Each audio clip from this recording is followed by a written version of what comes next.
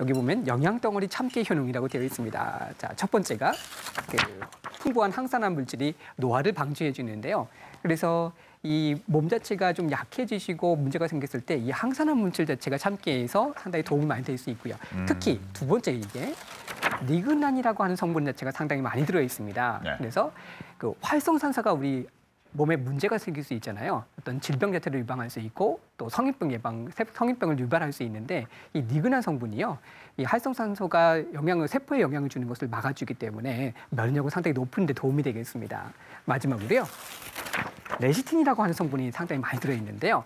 이 풍부한 레시틴 같은 경우는 인지를 성분으로 뇌 기능도 활성화시켜주고요. 신체 대사를 활성화해주기 때문에 혈관 질환에도 도움이 됩니다. 네. 그 참깨는 이게 참깨를 참, 짠게 참기름이잖아요. 네. 그럼 참깨를 그냥 먹는 게 좋은지 참기름으로 해서 먹는 게 좋은 건지 네 참기름이? 맛있잖아요, 참기름. 참기름 맛있을까요?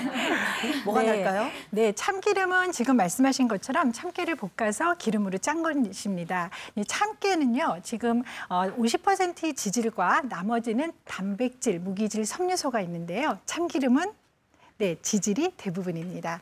또한 이렇게 낮은 온도로 볶지 않고 높은 온도로 가열했을 경우에는 참깨가 가지고 있는 고유한 성분이 손실될 수 있고요. 그리고 유해 성분도 나타날 수 있습니다. 그래서 참깨와 참기름을 굳이 비교하자면 참깨를 적극 권장할 수 있습니다. 네.